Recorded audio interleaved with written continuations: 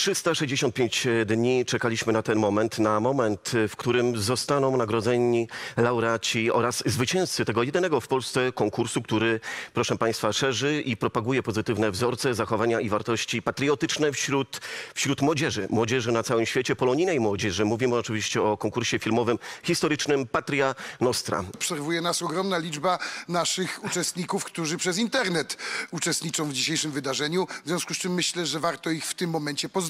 Pozdrawiamy wszystkich, Oczywiście którzy są z pozdrawiamy. nami za pomocą internetowych łączy. Na Oczywiście, że tak. różnych kontynentach i w różnych regionach y, świata. Dzięki e, temu, że nas wspierają tak wspaniałe instytucje i e, organizacje, my mamy możliwość e, wszystkich nagrodzić e, za ich bardzo ciężką pracę. To dla nas jest bardzo ważne. A ja chciałbym dodać, że poziom prac konkursowych z każdej edycji jest coraz wyższy.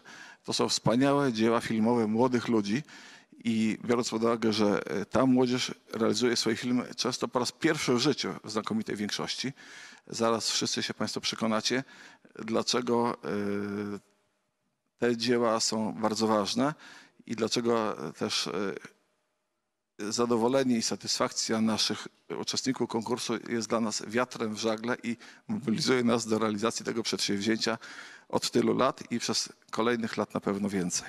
Chcielibyśmy serdecznie podziękować naszym patronom honorowym, partnerom, fundatorom nagród, mecenasom za wsparcie, za środki finansowe, za wspaniałe nagrody, bez których realizacja tak dużego przedsięwzięcia nie byłaby możliwa. Ja przypomnę, że w obecnej piątej edycji konkursu Patria Nostra są realizowane cztery niezależne konkursy, trzy konkursy regionalne w Polsce, mazowiecki, małopolski i wielkopolski oraz właśnie konkurs światowy, którego gala jest obecnie tutaj w studio telewizyjnym. W tych konkursach e, piątej edycji wzięło łącznie udział 1200 uczniów i nauczycieli i nagrody otrzymują wszyscy uczestnicy konkursu, więc musieliśmy zgromadzić kilka ton książek, albumów i innych atrakcyjnych przedmiotów. A chcemy właśnie teraz podziękować fundatorom nagród i patronom i wręczyć im okoliczno- okolicznościowe statuetki.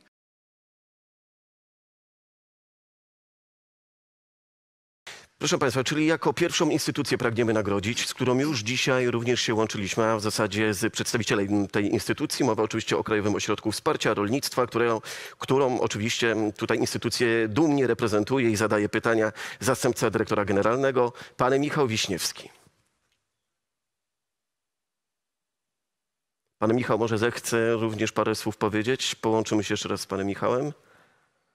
Jeszcze raz e, dobry wieczór i jeszcze raz e, bardzo serdecznie dziękuję Państwu, dziękuję Państwu prezesom i Wam, młodzi ludzie, za to, że przybliżacie historię Polski dla e, całego społeczeństwa, dla całego świata oraz, że pamiętacie o tym, co jest kluczowe do tego, by budować tożsamość, czyli pamiętacie o historii. O historii swojego kraju, o kraju waszych przodków, z którymi się nadal utożs- utożsamiacie. Bardzo wam za to serdecznie dziękuję. I teraz oczywiście prosimy o krótki film promocyjny.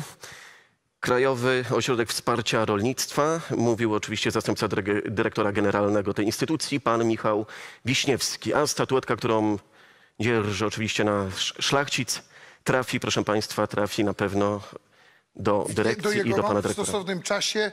Miejmy nadzieję, jak najszybciej. można, iż stało się. Pana trud i dobra Mamy wola zostały uhonorowane. Pani Agnieszko. A ja chciałbym e, teraz zapowiedzieć emisję filmu przedstawiającego działalność Krajowego Ośrodku Wsparcia Rolnictwa.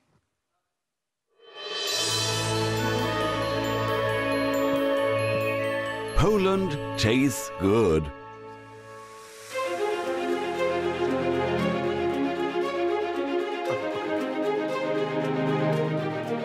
Freshness. Up to date technologies.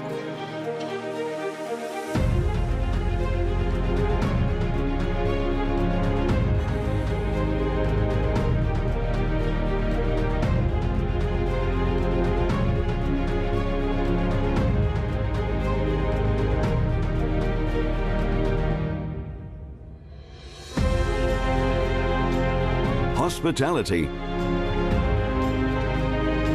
quality. European export leader.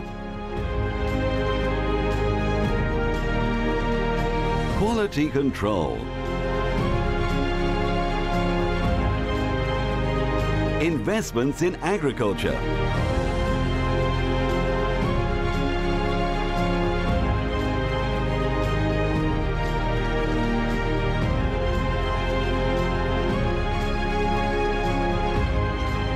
openness and diversity.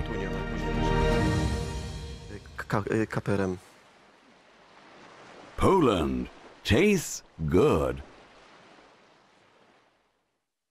Krajowy Instytut Wsparcia Rolnictwa to była prezentacja jednego z naszych partnerów i oczywiście instytucji, bez których nie odbyłaby się ta wspaniała gala, nasza uroczystość, ale przede wszystkim ten wyjątkowy konkurs, który nagradza utalentowaną młodzież polonijną z różnych zakątków Polski za wspieranie oraz propagowanie pozytywnych wzorców patriotycznych na podstawie nadesłanych filmików historycznych. A teraz czas na kolejnego naszego partnera, bez którego również by nas tutaj dzisiaj nie było, a czas na kancelarię prezesa Rady Ministrów. Za chwileczkę zobaczymy statuetkę, która powędruje na biurko pana prezesa Kancelarii Prezesa Rady Ministrów, pana Mateusza Morawieckiego. To i taka statuetka. I tradycyjnie e, bracia Korkowi przekażą statuetkę do Kancelarii Prezesa Rady Ministrów. Stało się.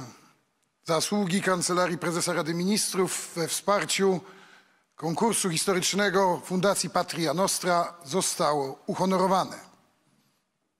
Dziękuję serdecznie. Przechodzimy do kolejnego naszego partnera. Kolejna statuetka i nagroda w podzięce za trud oraz wsparcie powędruje do prezesa zarządu Banku PKO BP SA, pana prezesa Zbigniewa Jagiełło.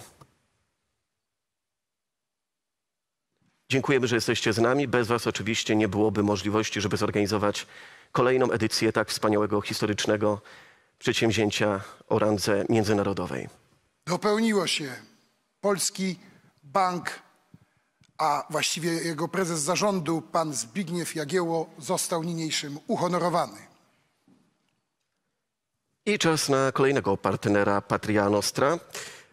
I kolejna nagroda powędruje do prezesa zarządu pani Karoliny Dłuskiej. Fundacja Polskiego Górnictwa Naftowego i Gazownictwa Spółka Akcyjna.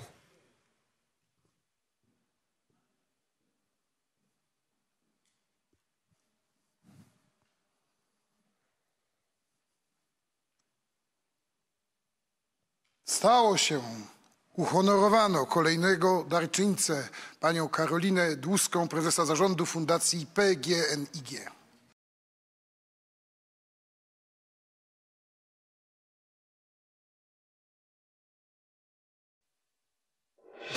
23 sierpnia 1939 roku minister spraw zagranicznych III Rzeszy Joachim von Ribbentrop i ludowy komisarz spraw zagranicznych Związku Sowieckiego Wiaczesław Mołotow podpisali w Moskwie pakt o nieagresji wraz z tajnym protokołem dodatkowym. Konsekwencją tego był czwarty rozbiór Polski.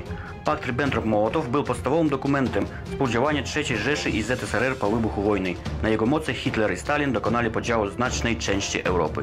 Niemiecki atak na Polskę rozpoczął II wojnę światową, a dwa tygodnie później wojska radzieckie wkroczyły na terytorium Polski. Jakie emocje, jakie emocje? Halo Kazachstan, halo Kazachstan. Szczęśliwi, zadowoleni?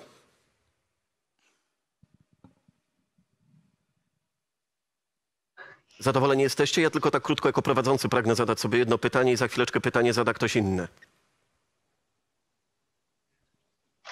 Słyszymy się? Halo, halo? Tak, tak. Zadowoleni jesteście? Jak, jak, jak wasze emocje? Niespodziewany. Duma nas rozpiera. No właśnie widać. Pokażcie, jak was duma rozpiera. Nie wstrzymujcie się, pokażcie swoje emocje, niech to cały świat zobaczy. Pięknie. Moi drodzy, a teraz przygotujcie się na pytanie, które zada nasz gość specjalny, już ostatniego pytanie. Dzielnie wyczekał z nami tyle godzin, ale w końcu się doczekał, żeby zadać te swoje zaszczytne e, pytanie dla miejsca pierwszego, czyli dla naszych zwycięzców. Więc połączmy się z zastępcą dyrektora generalnego Krajowego Ośrodka Wsparcia Rolnictwa i moim ulubieńcem, panem Michałem Wiśniewskim. Panie Michale. Pytanie dla zwycięzców, prosimy. Bardzo się cieszę, że e, żeście Państwo zdecydowali się na e, wzięcie udziału w tym konkursie. Bardzo serdecznie gratuluję. Ja mogę również e, coś od siebie rodzinnego powiedzieć, coś związanego z Kazachstanem, dlatego że mam wielu przyjaciół w Kazachstanie. Moi rodzice przez szereg lat przyjmowała jak swoje Potem już dzieci. kończymy, rozumiem. tak? Dzieci polskie, dzieci z Kazachstanu na całe wakacje. E, I do dzisiaj utrzymujemy z nimi kontakt, bo e, im udało się wrócić do Polski, chociaż ich rodzice nadal mieszkają w Kazachstanie. I bardzo Was podziwiamy, i mówię to w imieniu mojej rodziny, że w tych trudnych czasach udało się Wam mm, kultywować polską tradycję, polski język i serdeczne, myślę, że mogę powiedzieć e, e, w imieniu wielu Polaków, serdeczne Bóg zapłać i dziękuję za to, co robicie i krzewicie nadal tą kulturę. Dziękujemy, ale również prosimy przekazać niskie ukłony dla, panie, dla Pana rodziców za e, wsparcie i pomoc dla rodaków z Kazachstanu. Dziękuję, na pewno przekażę. A do Stasia, który mieszka w Polsce i od 11, od, ojej, to było już od 18 lat przyjeżdża do nas, e, do domu jak do swojego. E, zaraz e, zadzwonię, napiszę SMS-a, że e, z jego rodzinnego kraju mm, drużyna wygrała tak fajny i ciekawy konkurs. To też prosimy przekazać mu pozdrowienia e, rodaków. Życzę wszystkiego, co najlepsze. Dziękujemy. Tak, tak, tak. Dziękujemy serdecznie panie Michale za zadane pytanie. Dziękujemy, że dotrwał pan do końca. Jest pan cały czas obecny razem z nami. E, Cieszę się, że pytanie również e, było bardzo pozytywnie zadane e, naszym zwycięzcom. Dziękujemy. A teraz pytanie zada pani prezes Fundacji Patria Nostra. E, ja chciałabym, żebyście opowiedzieli, jaką techniką to zrobiliście, kto to robi fizycznie, bo praca jest tak pracochłonna i zasługuje naprawdę na wielkie, wielkie brawa. Dlatego opowiedzcie, kto to robił, ile czasu wam to zajęło i jak w, tej w, tej, w tym okresie pandemii daliście radę to zrobić i jak długo. E, no, Najtrudniejszym rzeczem e, był dla nas wyrzeźbienie А, Фигурок. Фигурок. Фигурок из пластилина. А, праца была часаховна, часахона, але bardzo interesująca. Jaką techniką to robiliście, bo nie usłyszeliśmy? Пластилины. С пластилина. Plastelina, dobrze, wspaniała praca, gratulujemy bardzo. Dziękujemy serdecznie, ale zanim wielkie brawa. A teraz, kochani, zobaczcie, jakie nagrody są dla Was przygotowane. I uwaga, mamy voucher o wartości 4000 zł, który wędruje do Was, do Kazachstanu. Ufundowany, jeszcze raz pozwolę sobie em, przypomnieć, przez Ministerstwo Kultury i Dziedzictwa Narodowego oraz Narodowe Centrum Kultury. I oczywiście wspaniała szlachecka szabla. Honor i ojczyzna, piękny napis wygraderowany. Więc gratulujemy serdecznie Wam jeszcze raz.